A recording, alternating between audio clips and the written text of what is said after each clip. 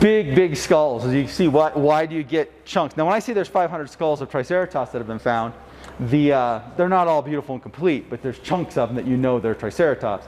There's been something like 17 species of Triceratops named. There's only two that are accepted today. And then there's been numerous other animals like this one, Torosaurus, which some folks argue is Triceratops. And others say it's not. I'm going with Nick Longrich on this one. He most recently said it's separate as well and named some characters. One of the biggest factors that, that separate. The holes in the parietal are a pretty big one, I think. Um, beyond So that, You've got big skull. Yeah.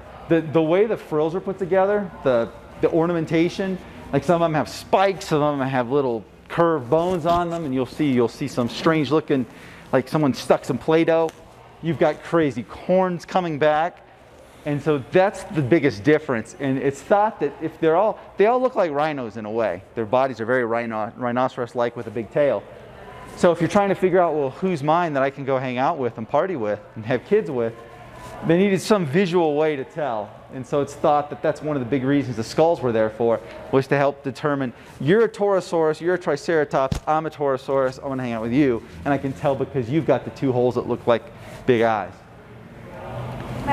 Can I ask a stupid question? There's no stupid questions. Where are the eye sockets? Are they right under the horns? Yeah, in this case, they're right there. Okay.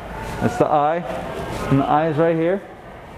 And you can imagine, you, you It's like weird, like right underneath your horns. Yeah. So another interesting thing with a lot of Triceratops skeletons is they've got these marks